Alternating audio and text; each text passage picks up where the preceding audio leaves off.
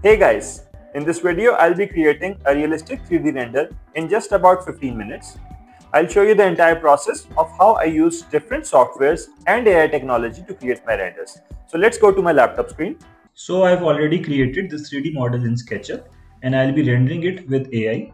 Now in order to do so, you must make sure that the entire model and the scene is complete as right now the background, the trees etc are missing, a few materials are missing. So I'll just quickly add those things. First of all, I'll add the background. I'll just fast forward it that as this is a rendering video, not a modeling video. And I'll get to the results quickly. Now just add a few materials. Uh, add the markers for the road. Uh, some, some more materials were missing, so I'll just add them. Now it's important to add some vegetation in the background so AI can pick it up and add some, some of its own vegetation. You can do it in any software. I'm using SketchUp here but I can use Lumion or any other software that I like to just get the hang of the scene so that AI can pick it up. Just add a car and minute details here and there just to make the scene a bit more interesting. Now once my scene is ready, just adjust the camera angle so that everything is clear and easy for AI to pick up and just take a screenshot or in SketchUp you can export it as a 2D image, save it in your computer. Now I want you guys to open your web browser and go to the website promeai.pro. Just simply sign in using your Google account. Now go to all tools and go to the sketch rendering tool. Upload the image that we just saved. Once uploaded, we have different options. We can type a prompt insert a reference image, or select from pre-installed themes. I generally use the reference image method, so I'll show you how it's done. It's pretty easy, just upload a reference image of a project you like. This is my reference image of a project I have done before, so I'll just upload it. Once uploaded, we have different options. This is the model option, I go with the V2 one, so I'll go with that. This is the style option, keep it unselected. Go to the scenes, select architecture Next, mode. This is important. We have different modes. You can try them out on your own. Right now, I'll go with the structure one.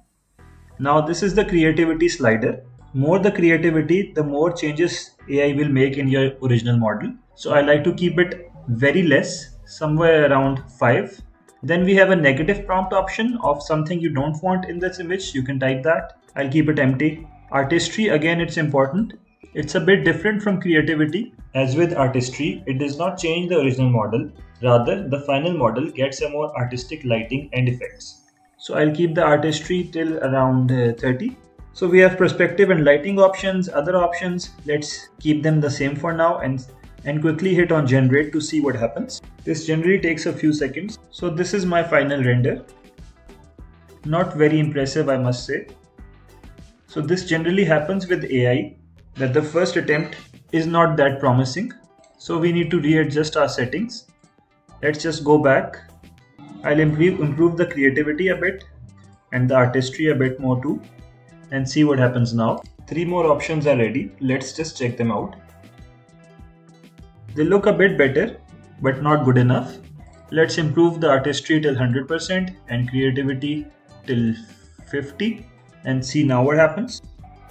So if you noticed, AI has changed my scene a lot. This is because my artistry and creativity is a bit too high. So let's go back and change them again. Decrease the creativity till 10, artistry till 50. Click on generate again. Okay, this one looks interesting. Let me get a quick analysis of how the original model was and how this AI has created it. There are a few differences from the original model. This window design has been changed. This wall AI has not read properly, so this needs to be fixed. Rest, the background can be improved a bit more too. Now we will use some more AI tools from Prome AI to fix these problems. Just go to the edit option. We have different options. I'll go with erase and replace. Now we are in this erase and replace tool and the image is uploaded over here automatically. We have these options.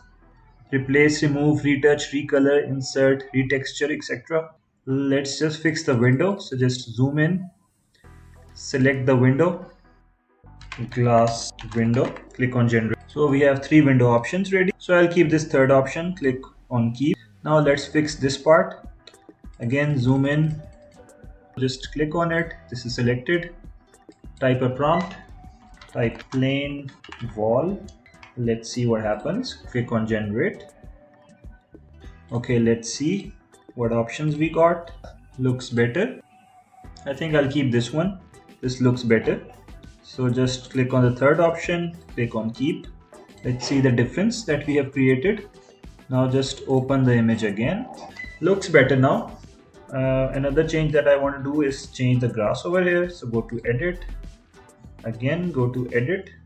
So go to replace auto select and let's just add a bit greenery. Type the prompt grass with nice landscaping. Click on generate and three options are ready. Let's check them out. These look pretty impressive. I think I'll go with this third option.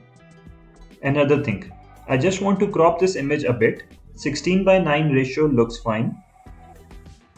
Next, I just want to tweak the sky a little bit, maybe add some clouds. So let's just type a prompt. With few clouds. So now I'm pretty much satisfied by the render. I just want to convert it into an HD image. So go to edit and then HD upscaler tool. In this tool, we have an option to type a prompt. So I'll type make the foreground more sharp and press enter.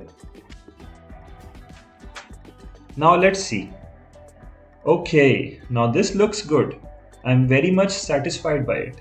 So let's just save the image. Another option that I like a lot that is outpainting as I like to share my images on social media and a lot of apps that I use have an aspect ratio of 9 by 16 so I can easily convert this image into a 9 by 16 aspect ratio just click on it adjust the image in the canvas so it looks good on the entire mobile screen and click on generate